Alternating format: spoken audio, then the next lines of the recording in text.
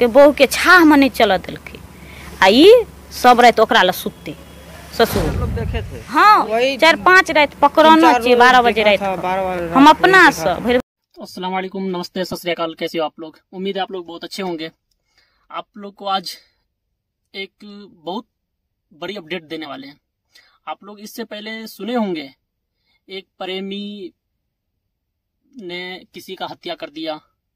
या एक बॉयफ्रेंड ने गर्लफ्रेंड का, दूसरे फ्रेंड बॉयफ्रेंड को हत्या कर दिया, या फिर बोले तो एक बॉयफ्रेंड ने दूसरे अपनी गर्लफ्रेंड का पति को हत्या कर दिया, या फिर इस तरह के आप लोग रिलेटेड सुने होंगे।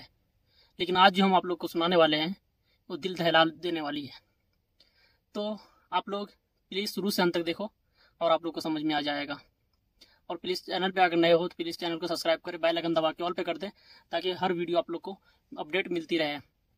अगर इस वीडियो को आप लोग ज़्यादा से ज़्यादा शेयर करोगे तो ये हो सकता है इस तरह का अन्याय होने से बच जाएगा। और आप लोग तो भले इस तरह नहीं कर सकते हो, लेकिन फिर भी हमारा कहने का मकसद है और हमने जहाँ तक कि वो वीडियो बना दिया। चलिए ठीक है, आप लोग हम बताते हैं क्या हुआ है। एक पति ने सॉरी एक ससुर ने अपने बेटे को मार दिया, यानी एक बाप ने अपने बेटे को मार दिया, अपनी बहू के चलती। एक ससुर का अफेयर बहू से चल रहा था और दोनों के चक्कर में बीस, तीसरा उनका पति था, यानी उसका बेटा था। उस बेटा को ही मार के ख़त्म करके निकाल दिया रास्ते से। इससे पहले आप लोग सुने होंगे बॉयफ्रेंड मार दिया या गर्लफ्रेंड मार दी, इस तरह का सुने होंगे। तो आज अपने बाप ही अपने प्यार के चलती अपने बेटा को मार दिया। और शादी भी कराया, यहाँ तक कि दो तीन मरतबा पकड़ाया भी तो भी पंचायत भी बैठाया गया, पंचायत में यही सीधा कह दिया गया कि भाई हमने शादी करके लाया है, हम रखेंगे। तो भाई बेटा का शादी कराया था कि तो अपना शादी किया था। किया था तो बेटा का ही शादी, लेकिन अपना हवस मिटाने के लिए इसने ये सब चाल किया। अपना हवस मिटाने के लिए अपने बेटे को मार दिया। अब सोचिए, ऐसा इंसान अभी भी हमारे पृथ्वी पे है। तो गाइस आप लोग को ऐसा लगता होगा जो ये वीडियो फेक है, या फिर बोले तो अलग तरीके आप लोग को समझ में आता होगा, क्योंकि अलग अलग फेक वीडियो भी यूट्यूब पे बनाते हैं सब, और इस तरह का रिलेटेड वीडियो को भी अपडेट कर देता है। तो ये ये केस जो है सिपोल वार्ड नंबर पंद्रह का ये कहानी है। तो आप लोग, अगर आप लोग को हम दिखाना चाहते हैं, देखिए आप लोग को, एक छोटा सा क्लिप है, और ऐसे नहीं बोल रहे, एक छोटी बहू ने अगर उन पे आवाज़ भी उठाया तो उनको फ़र्क कर दिया गया। यानी कहता है ना कोई उंगली उठाया तो उसको हटा दो। तो उनके पति को दो साल तक शादी किया दो साल तक उनके पति को जो है उनके करीब जाने के लिए नहीं दिया। यानी बाप अपने बेटे को उनकी बीवी से दो साल तक मिलने के लिए ही नहीं दिया गया। देखिए आप लोग को छोटी सी क्लिप है।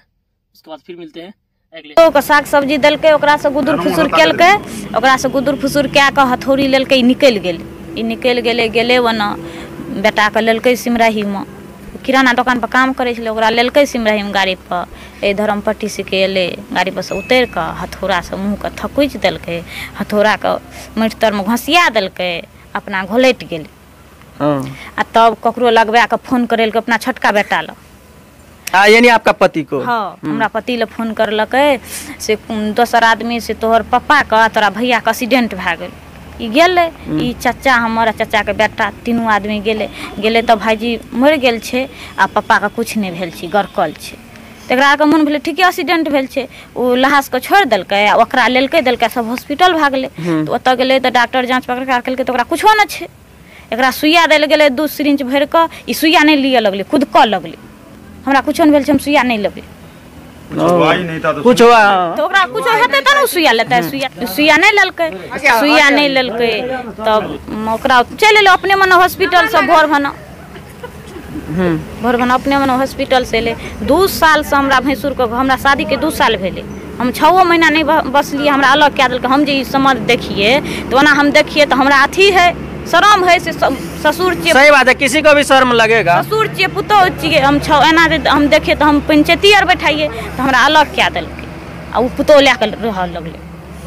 आ सासुमे हमरा के दए देलकै। कनि दिना ससुर रहलै सासु लड़ाइ झगड़ा करलकै तऽ ओकरो लए लेलकै ओहिमे। तऽ ओ तीनू टा एकमे रहै हम दुनू प्राणी अलग रहियै। दू सालसँ हमरा भैंसुरके घर नहि जाए देलकै बहुके छाहमे नहि चलऽ देलकै। आ ई सब राति ओकरा लए सुततै ससुर।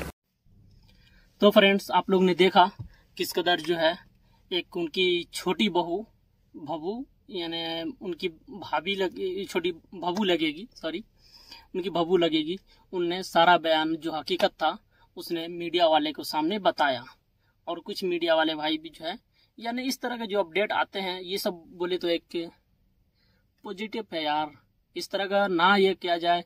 अब जो है, इस तरह का जो मान कर रखो, अगर ससुर ही अगर अपने बहू के साथ इस तरह का हरकत किया जाए तो फिर समाज में क्या मिलेगा? हम्म? अगर वही काम अगर अगर हम ही मान कर रखो, अगर आप ही लोग अगर उनके बेटा को एक चमेटे मार देते, उनको क्या एहसास होता? क्या तुमसे क्या केस मुकदमा हो जाता? तो अभी जो है इस तरह का जाँच पड़ताल की वजह से केस थाने में चला गया है और उनको हिरासत में ले लिया गया है।